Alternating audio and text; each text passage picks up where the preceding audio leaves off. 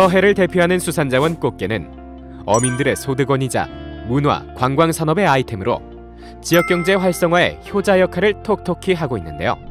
기후 변화와 무분별한 어회, 그리고 중국 어선의 불법 조업 등으로 2000년대 들어서부터 생산량이 점점 감소하기 시작하면서 꽃게 자원 관리의 필요성이 대두됐습니다. 이에 국립수산과학원과 해당 지자체 그리고 꽃게잡이 어민들은 꽃게 보호를 위한 다양한 노력을 펼쳐 매년 어획량이 꾸준히 늘고 있는데요. 서해의 명물 꽃게를 지키기 위한 과건과 지자체 그리고 어민들의 합동 작전을 지금 공개합니다. 대한민국 꽃게 생산량의 45%를 차지하는 인천 앞바다. 매년 5월부터 8월까지 이곳에서는 특별한 조사가 시작됩니다.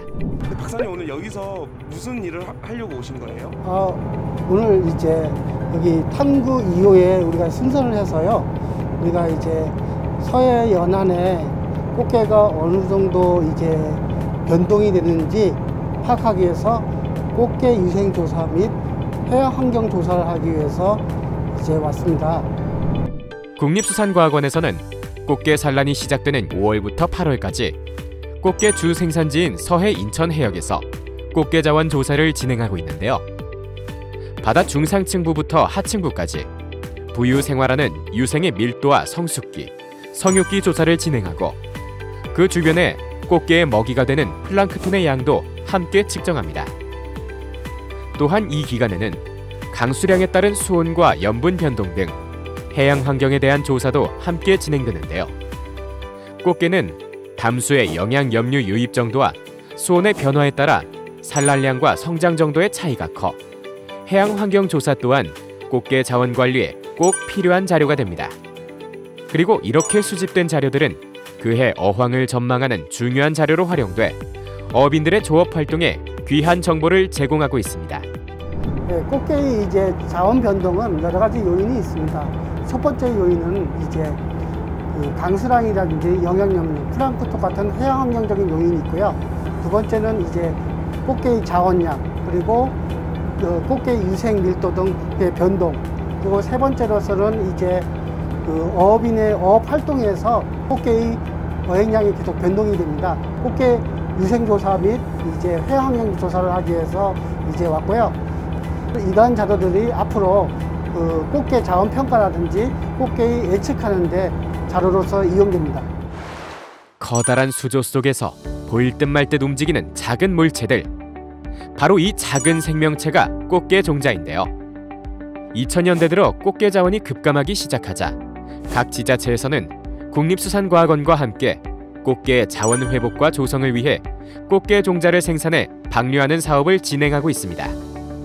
2003년 전부터 첫 종자 생산을 시작해 매년 200만 마리의 꽃게 종자를 방류하고 있는데요. 이를 통해 매년 자원량이 극적으로 회복되고 있어 아주 흐뭇합니다. 꽃게 종자는 다음과 같은 방법으로 생산되는데요. 먼저 5월에서 7월 사이 무게가 250g 이상 되는 부화 직전의 어미를 확보한 다음 약육을 마치고 수온 20에서 27도 사이에 사육 수조에 넣어 관리합니다. 이후 어미개는 밤에서 이른 아침 사이에 한 마리당 100만 마리 이상의 유생을 산란하는데요. 산란이 끝나면 유생은 규조와 해산 클로렐라가 배양된 수조로 옮겨 관리됩니다. 유생은 조회하기와 메갈로파기를 거쳐 어린 개로 성장하는데요. 조회하기 1, 2기까지는 먹이로 로티퍼를, 조회하기 3기부터는 알테미아를 공급합니다. 또 발이 출현하는 메갈로파 시기 이후에는 그물망을 설치해 개체 간의 격리와 도피처를 마련해 공식이 일어나지 않도록 관리합니다. 꽃게는 수온에 민감해서 온도 관리에 특히 주의해야 하고요. 어린 개 시기에 바다로 나가기 때문에 환경에 맞춰 잘 자랄 수 있도록 비슷한 환경을 만들어 주려고 노력해야 합니다. 부화 후 28일 정도 지나면 어린 개가 1cm 정도로 자라는데요. 수조 속에서 자란 수백만 마리의 어린 개들은 국립수산과학원의 꽃게 자원 조사를 통해 밝혀진 생육하기 좋은 곳에 방류됩니다. 꽃게를 지키기 위한 노력은 저 멀리 바다에서도 이어지는데요. 세본맞이 꽃게 조업 현장입니다. 꽃게는 주로 자망으로 잡는데요. 자망은 바다 아래 모래밭에 그물을 병풍처럼 펼친 다음 그물코에 걸린 물고기를 잡는 방식입니다.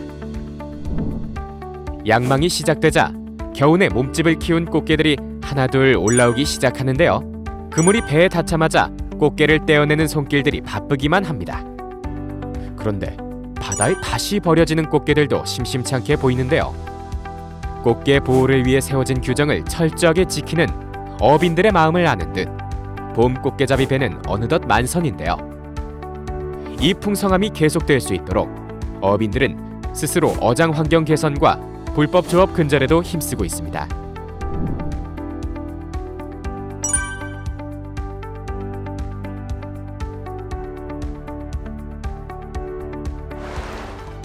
꽃게의 생태를 이해하기 위해 연구하고 자월량 유지를 위해 종자를 방류하며 규정과 환경을 지키는 슬기로운 어업 활동. 이 삼박자가 잘 어우러져 서해의 명물 꽃게 자원량은 현재 극적으로 회복되고 있는데요. 앞으로도 우리 꽃게 자원이 적정한 수준으로 유지 관리돼 지속 가능한 어업으로 굳건히 정착될 수 있도록 국립수산과학원과 해당 지자체 그리고 어업인들의 노력은 계속됩니다.